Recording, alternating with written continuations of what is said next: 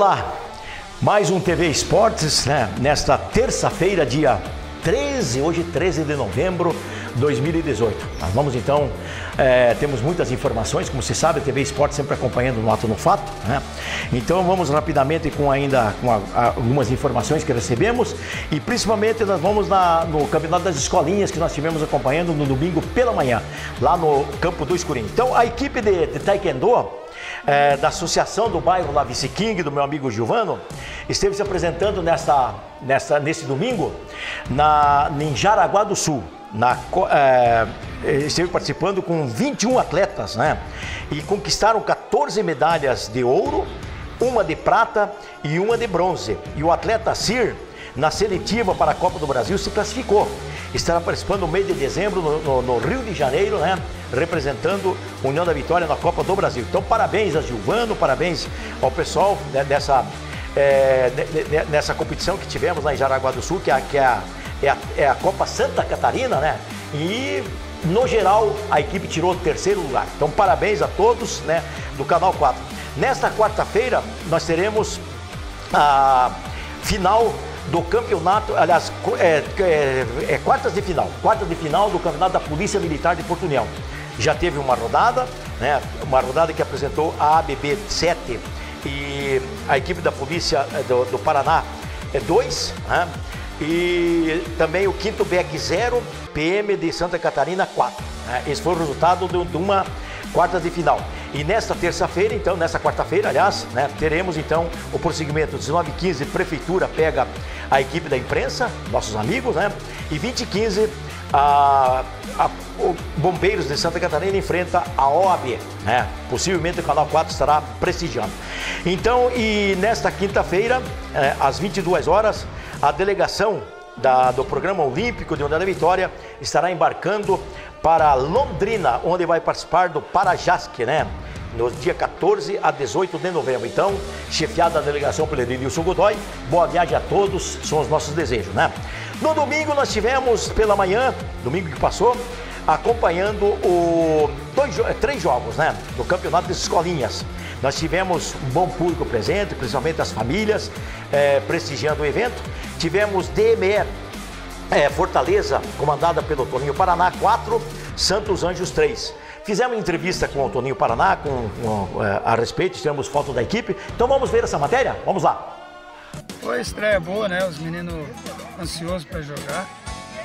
E o importante, independente do resultado, é a participação dos meninos, né? Eu acho que é o mais importante.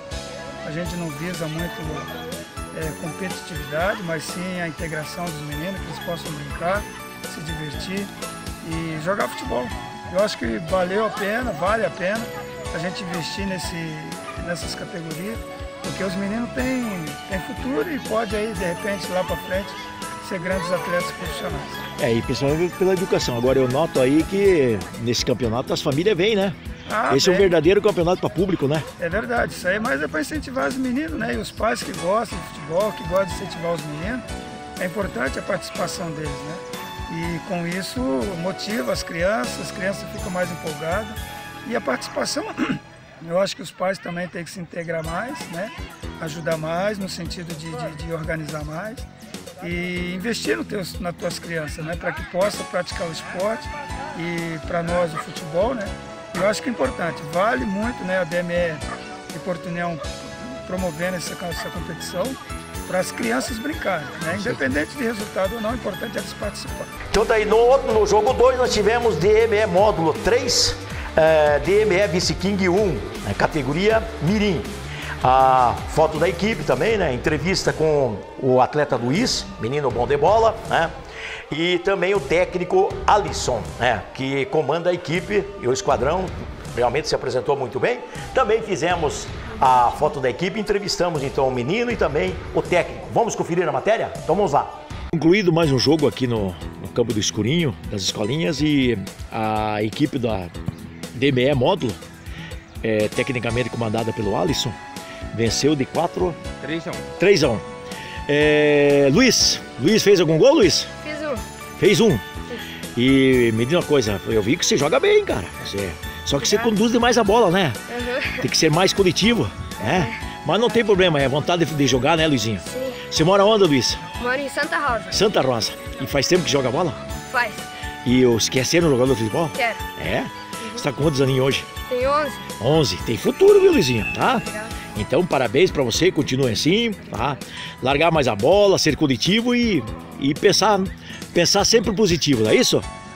Obrigado, viu? Obrigado. É, primeira é, participação ou já teve mais algum resultado positivo? É, no decorrer do ano a gente teve uns campeonatos, né?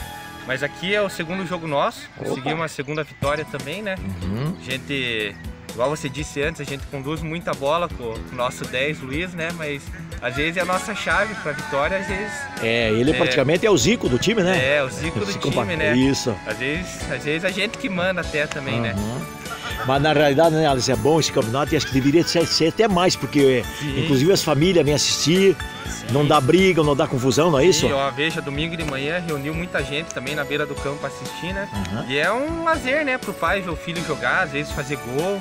É, é emoção, né? Com certeza. Isso aí. O teu atleta, o 10 aí, tem 11 aninhos, né? 11 aninhos, aham. Esse parece ter aptidão, né? É, a gente tenta jogar, colocar todo mundo pra jogar, né? Mas é difícil, é pouco tempo, né? Uhum. Então, Eu vi os garotos cobrando de você, eu vou entrar, eu vou é, entrar, é, né? Todo mundo quer jogar, né? 11 anos, a flor da pele, né? É, exatamente. Alisson, parabéns, continue assim, vamos, nós vamos acompanhar até o final do Canal 4, tá? Obrigado, então. Valeu? Beleza. Obrigado, viu? Obrigado, viu, vocês.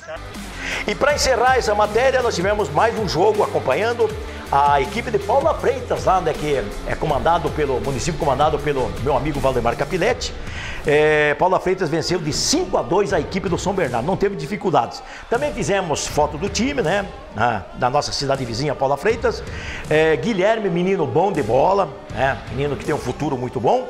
E também o técnico, técnico Anderson, Anderson Lotte que eu apelidei dele de Ander- Anderson Raio quando era jogador de futebol. Bom menino, fazendo trabalho, tem apoio do Valdemar Capilete, isso que é importante. Também fizemos então a foto do time, as entrevistas, então vamos conferir.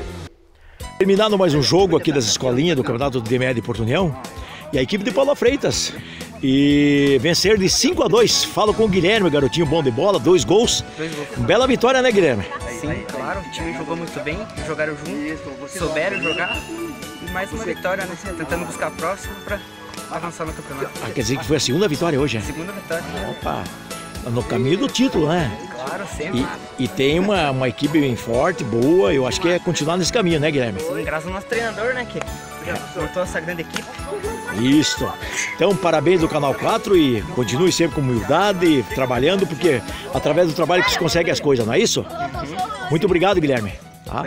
Agora o técnico Anderson, da equipe de Paula Freitas, que venceu de 5 a 2, uma goleada. Anderson, uma goleada realmente até certo ponto fácil, mas é uma equipe bem entrosada.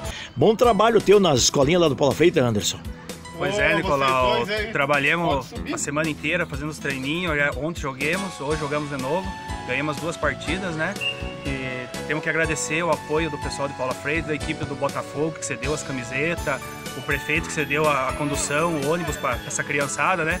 Que eu acho que é o mais importante para nós é a saúde dessa piazada, o esporte, né? Quanto mais a gente tirar eles pro esporte, menos vão tirar para as coisas ruins, né? É, e o pessoal tem que ajudar, através da parceria que pode fazer as coisas, né? É Verdade, eu tenho que agradecer de coração mesmo. É difícil hoje em dia alguém querer ajudar, sabe? O povo sabe mais é criticar, né? Criticar tem bastante, né? Pra ajudar tem pouco, né, Nicolau? Você sabe disso. Você participa há quantos anos no esporte, né? Exatamente. Mas eu acho que daqui pra frente as coisas só tem a melhorar, sabe? Tem uma equipe forte, o Sub-11 também, dos pequenininhos. Ontem ganharam, então classificaram em primeiro com as três vitórias, né?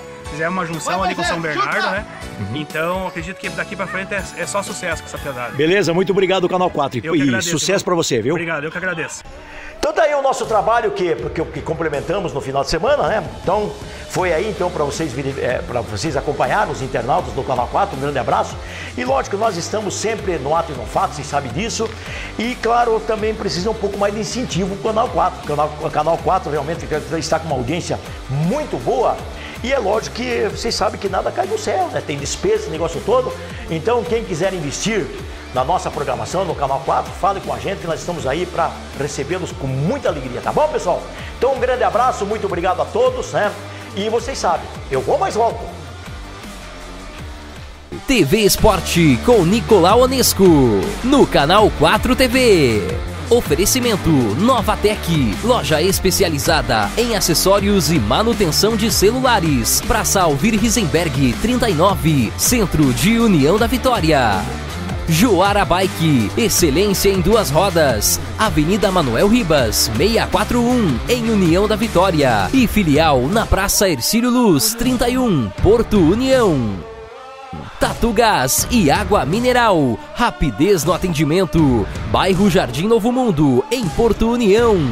Oficina Bandeirantes. Serviços de chapeação e pinturas, mecânica em geral, balanceamento e geometria. Do ex-vereador Altair Iguaçuano, o amigo do esporte. Rua Professora Amazília. Fone 3522 1135.